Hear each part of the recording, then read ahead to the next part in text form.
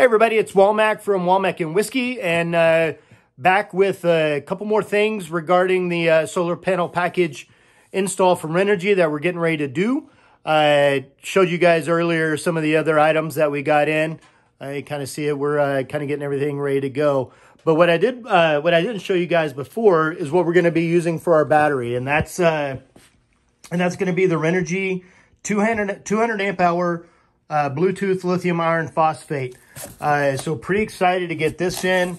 Uh, it's going to be in so much better than uh, what we currently have on uh, what we have on the trailer. So just unpacking this a little bit.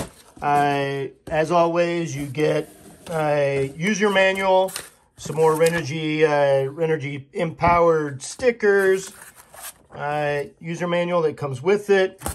and then let's see what else we got inside.